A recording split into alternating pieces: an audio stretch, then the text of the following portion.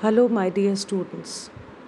When we study coordination compounds, the study of these compounds is incomplete without mentioning Werner's theory. Dear students, there was a scientist Alfred Werner who studied about coordination compounds in detail.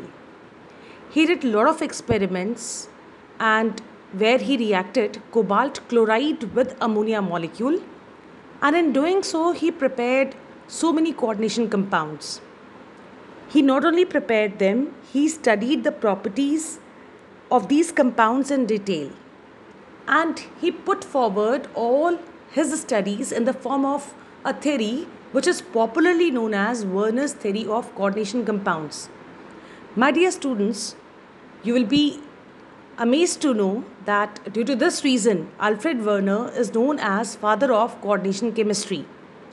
So now we are going to study about main postulates of Werner's theory. The most important point in the Werner's theory is about central metal atom or ion. According to Werner's theory, the central metal atom or ion has got two valencies. One is primary valency and the other one is secondary valency. Now, primary valency has got certain characteristics and secondary valency too have got certain characteristics. So let us study them one by one. So first I'll talk about primary valency. Primary valency of a central metal atom or ion is always ionizable and it corresponds to the oxidation state of central metal atom or ion. This valency, the primary valency is always satisfied by a negative ion and it is always shown by dotted lines. The negative ions which are attached via primary valency to central metal atom or ion can ionize in solution and these valencies are always non-directional. On the other hand, if I talk about secondary valency, secondary valency is non-ionizable. It corresponds to the coordination number of central metal atom or ion and it is satisfied by negative ions or as well as it can get satisfied by some molecules as well. It is shown by thick lines and the negative ions or molecules which are attached by secondary valency to central metal atom or ion cannot ionize and these valencies are directional. The last point in both primary and valency is very very important to understand Dear students, the directional valencies they decide the geometry and non-directional valency cannot decide about the geometry. Not only these two important things he told about central metal atom or ion, he also spoke about a very very important concept according to which certain negative ions may attach themselves through both primary and secondary valencies to central metal atoms or ion at times of need. Now let us study and understand all these points with the help of certain examples. Dear students, I have mentioned here two examples. One is COCl3 6NH3 and other one is COCl3 4NH3. We will talk about them one by one. So first let us understand COCl3 6NH3. In this compound, cobalt has got its coordination number Cn is equals to 6. Coordination number of cobalt is 6 which means that cobalt should form 6 directional bonds.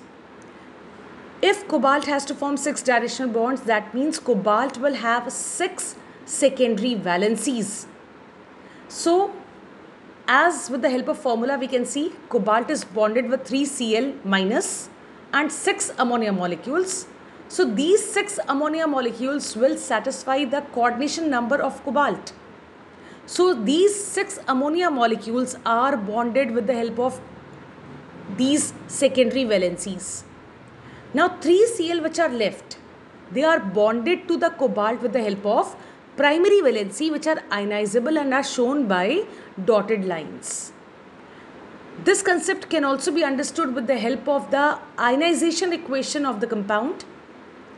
On dissolving in water, the compound ionizes to give these two ions. The first ion is a positive ion where cobalt is bonded with 6 ammonia molecule and as a whole this is a single entity which carries tripositive and there is negative ion in the form of chloride ion and there are 3 Cl minus which clearly corresponds to the structure which is made here. 3 Cl minus are generated that means 3 Cl are bonded via primary valencies which are shown by dotted lines. And 6 ammonia molecules they are unionizable that means 6 ammonia molecules are bonded via secondary valency.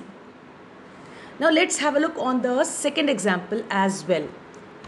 Now the second example is CC, COCl3 4NH3. Now since coordination number of cobalt is cobalt's coordination number is 6 that means cobalt needs to form 6 secondary valencies. Out of 6, 4 are very very clearly seen that 4 ammonia molecules will be bonded with the cobalt via secondary valency. So here you can see 4 ammonia molecules forming secondary valency with the cobalt. Now Cl, 3 Cl are there which are in the form of negative ions. So these 3 Cl definitely will be bonded via sec, uh, sorry primary valency. So you can see with the help of dotted lines that all 3 Cl are bonded with the cobalt via primary valency. Clear? But Still, the coordination number of cobalt is incomplete. Cobalt's coordination number is 6. Out of 6, only 4 are justified. That means 2 are still left. In order to satisfy the gap of or the difference of 2, cobalt gets bonded with 2 Cl minus not only with the secondary valency but also with the uh, not only with the primary valency but also with the secondary valency. That's the reason there are two Cl minus with which cobalt forms both the valencies. Secondary as well as primary. Secondary as well as primary. Now the structure can be clearly understood via this ionization equation. This compound ionizes to give these two ions, a positive and a negative ion. The negative ion is only one Cl minus so the structure corresponds to that. Only one Cl is bonded with cobalt via primary valency which can ionize very well. Now, the positive ion has got cobalt bonded with 2 Cl and 4 ammonia. 4 ammonia are very clearly understood that these are bonded via secondary valency so they are unionizable. But we can see here that 2Cl are not only bonded with the primary valency but are also bonded with the secondary valency. So these 2Cl are also non-ionizable. That's the reason they are written in the form of positive ion unionized with cobalt.